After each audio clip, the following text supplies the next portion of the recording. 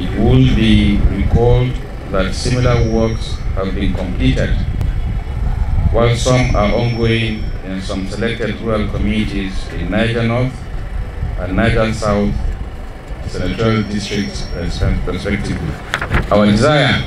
to embark on the double coat surfacing of some of these roads earlier rehabilitated by RAMP 2 project in the state is to sustain our efforts in making the project more enduring for an improved life for the rural communities across the state. Our determination to expand and interlink a number of rural communities with access to basic services for improved socio-economic rural life is to bring governors close to the people at the grassroots while making it easier for them to move their farm produce to the market. As part of our efforts to empower the people and create meaningful means of sustenance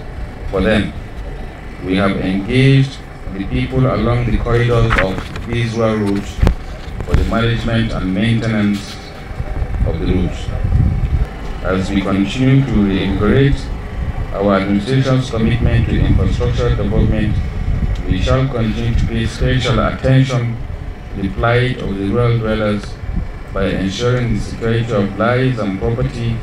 as well as support our farmers to improve their economic and social activities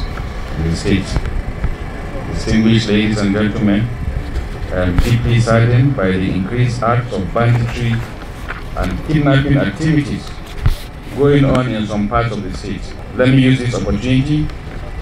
to assuage the fears of the residents around all the troubled areas that our government is making concerted efforts to tackle insecurity in the whole state. We shall continue to do everything to make the lives of the people safe and valuable.